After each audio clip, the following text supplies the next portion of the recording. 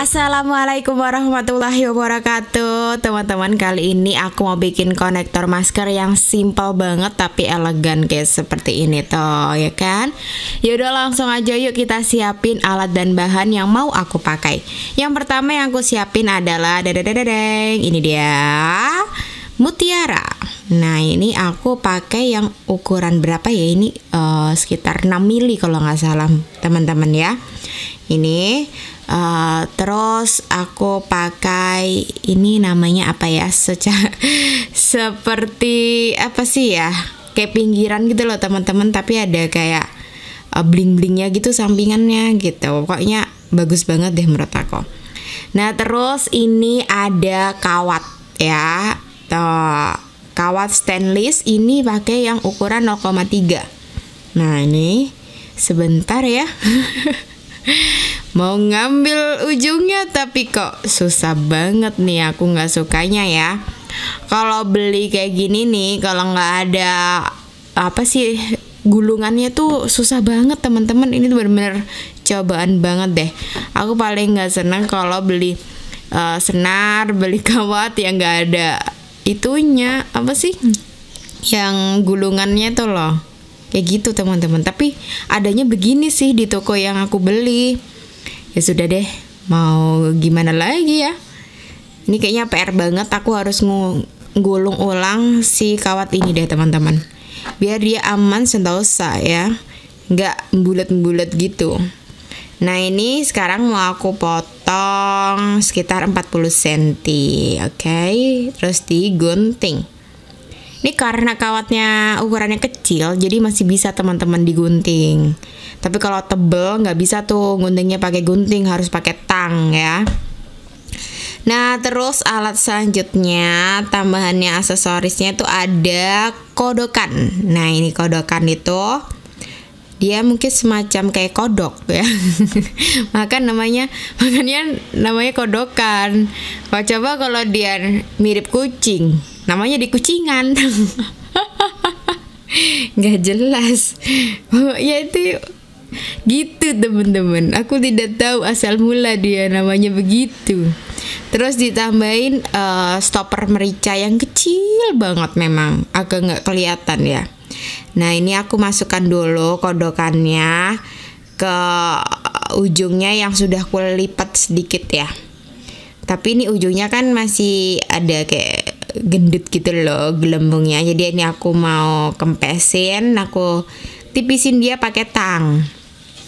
Nah pertama aku masukkan dulu kodokannya, terus baru stopper mericanya. Tapi mohon maaf ya, ngeblur kayaknya ini karena kecil banget teman-teman ya ya copot deh itu tuh cobaannya di situ jadi memang nggak langsung bisa ini benar-benar jam terbang jadi ini memang uh, aku lagi belajar juga teman-teman yang untuk pakai kawat ya. Karena biasanya tuh aku pakai senar. Jadi aku pengen banget bisa uh, kawat itu yang canggih gitu loh. Soalnya aku sering banget kan lihat teman teman-teman online gitu ya yang ada di Instagram di YouTube. Itu banyak yang pakai kawat kayak gini tuh. Tapi aku tuh kok nggak bisa bisa gitu. Jadi aku makin penasaran nih. Aku harus bisa aku bisa aku pasti bisa. Agak lebay. Nah itu kan habis di apa ya di penyet lah si bubuk bubuk salah dong. Stopper. Stopper mericanya itu harus dipencet ya teman-teman. Jadi kayak kayak digencet gitu lah ya. Sampai dia tipis terus baru dipencet tuh kodokannya kayak tadi gitu. Terus sekarang baru kita rangkai. Ini ngerangkainya nggak pakai mikir banget sih cuman satu motif aja nih. Pertama satu masukkan eh satu kita masukkan manik mutiara terus uh, si silvernya terus uh, manik mutiara lagi dua terus ditutup dengan yang silver. Jadi itu motifnya kayak gini. Ini tinggal diulang-ulang aja terus sampai selesai ya. Jadi si tengah-tengahnya tuh pokoknya dua-dua mutiara terus. Nanti ujungnya baru satu seperti yang di awal. Seperti itu. Nih bagus ya. Jadi tuh kayak uh, pinggirannya tuh kayak ada bling-blingnya gitu loh teman-teman yang si cincinnya itu. Tapi aku lupa deh namanya itu apa ya. Ya aku lupa banget. Nah kayak gitu tuh teman-teman. Terus terus ini uh, um, mutiara kita masukkan. Dua. Terus ini uh, masukkan lagi mutiara. Pokoknya yang silver mutiara silver mutiara. Kayak gitu aja terus ya. Pokoknya jangan sampai ada yang tersisa. Jadi pokoknya lebih ke tepatnya lebih ke sesuai dengan ukuran yang kita mau ya. Aku tuh pengennya konektornya tuh sekitar 18 cm 17 kayak gitu-gitu. Jadi nggak terlalu panjang itu selera banget sih ya. Ini sambil aku ukur ternyata masih 14 cm jadi masih kurang lah ya. Kurang sekitar 3 cm aja deh. Atau enggak 2 cm kayak gitu. Ternyata kurang sedikit lagi. Ini bener-bener cepet banget loh bikinnya. Cuman susahnya dipasang kodokannya aja sih. Iya gak sih nah gitu teman-teman. Nih ukur lagi. Pokoknya jangan bosan-bosan untuk ngukur. Ya kayak gitu. Terus ini kita masukkan lagi um, mutiaranya dua silver juga gitu. Terus sampai selesai. Nah ini kita ukur. Udah cukup kayaknya ini. Ternyata kelebihan malah. Tuh ya nah kayak gini cantik ya simple banget loh ini teman-teman. Ini mungkin kalau pakai senar lebih lebih gampang ya. Tapi sebenarnya itu hasilnya lebih bagus pakai kawat sebenarnya karena biar masuk warnanya tuh kayak silver putih silver putih gitu ya jadi makin mewakili silvernya lebih elegan gitu loh menurut aku. Tapi ya begitu. Susahnya minta ampun nih masang kodokannya sama stopper mericanya. Kayak takut nggak rapat gitu loh. Nah ini karena itu kebanyakan. Sebentar kita agak mepet banget. Hmm.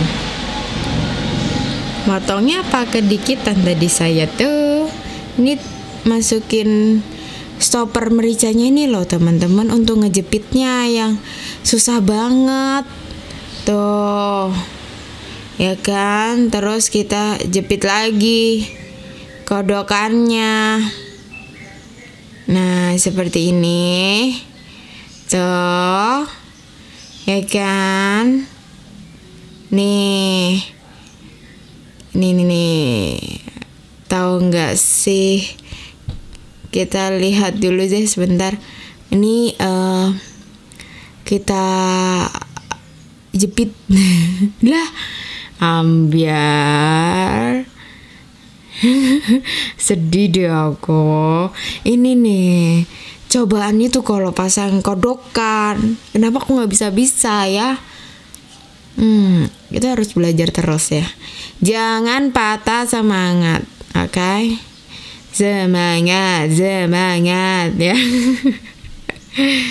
Duh, aduh.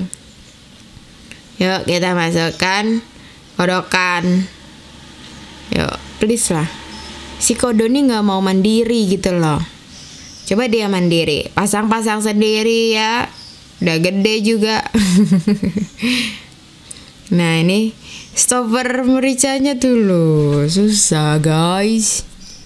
Nih ya ini aku lipat dulu teman-teman untuk masukkan ke stopper dan kodokannya stopper mericanya tuh emang kecil banget ya teman-teman. Karena kawatnya kan juga kecil. Jadi dia harus bisa mengunci si kawat tidak ke mana-mana. Ya kayak gitu nah ini harus jepit. Nah jepitnya ini yang susah karena tangnya agak gede kan? Nah sedangkan itu tuh lubangnya kecil banget. Stopper yang kecil sampai ini gambar ngeblur ya. Tuh aku juga nggak tahu. Nih sudah. Alhamdulillah. Sudah jadi. Terus sekarang kita ambil ringnya.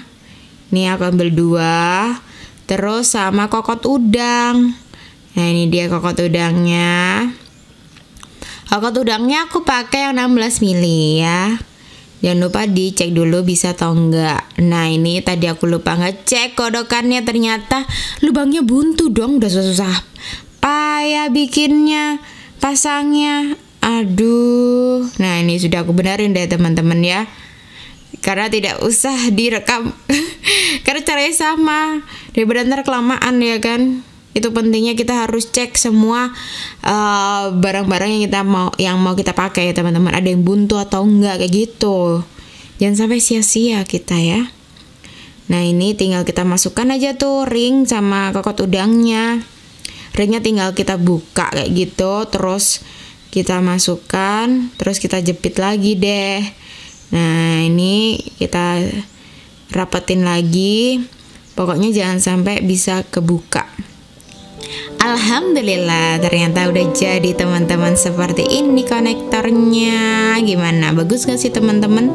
Ini simpel banget loh Ya udah segini aja ya video kali ini. Semoga bermanfaat buat teman-teman. Mohon maaf kalau masih banyak salah dan kurangnya. Sampai ketemu di video-video selanjutnya. Jangan lupa like, comment, share, and subscribe. Dah, Assalamualaikum warahmatullahi wabarakatuh